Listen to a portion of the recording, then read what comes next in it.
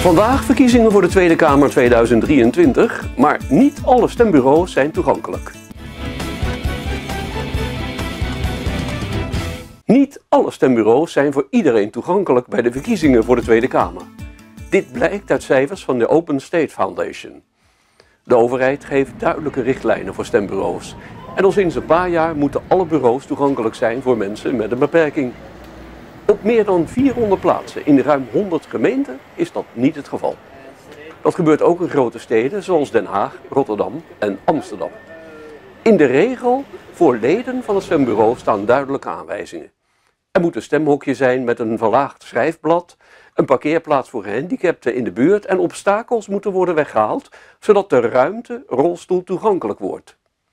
Den Haag zorgt dan weer wel voor een invalide toilet bij het stembureau. Advies: ga in ieder geval stemmen.